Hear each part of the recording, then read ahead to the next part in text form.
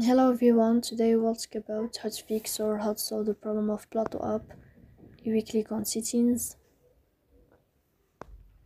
here you can click on apps, default apps, app settings. On above you can search about Plato app and you can click.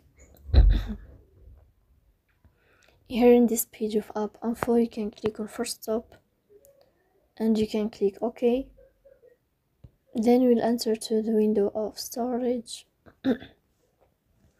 Here you can click on clear cache. In the end you can turn on your airplane mode and you can turn off your airplane mode again to fix that problem.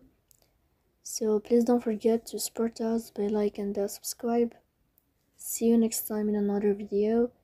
And uh, thank you for your attention and your watching